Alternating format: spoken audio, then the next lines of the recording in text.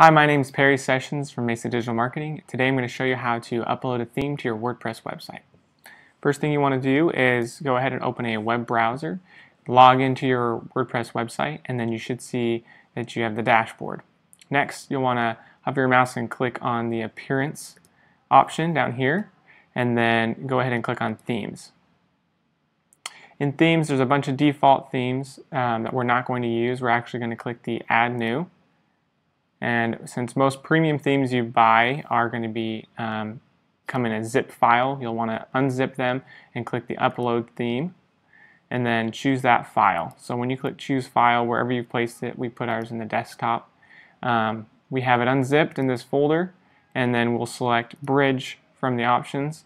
A lot of times your themes are going to have something called a child theme and that's the theme that will be activated but first um, upload the larger file in this case is going to be our bridge theme and um, we're going to push open. So some themes, you, this is still a zip file. Some themes you're not going to go ahead and hit um, upload. But you can see down in the bottom it's showing the percentage um, uploading.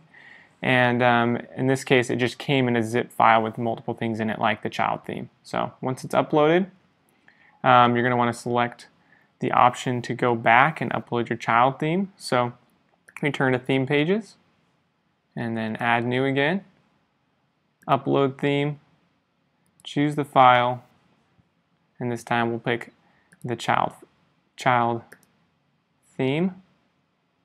And this is the time we're going to hit activate.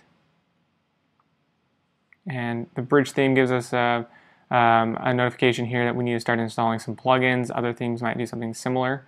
Um, you can click visit the site. So just um, to test it out and see that your new theme has been applied. Okay. That is it. That's how you upload and um, activate your new premium theme. And uh, stay tuned for more videos.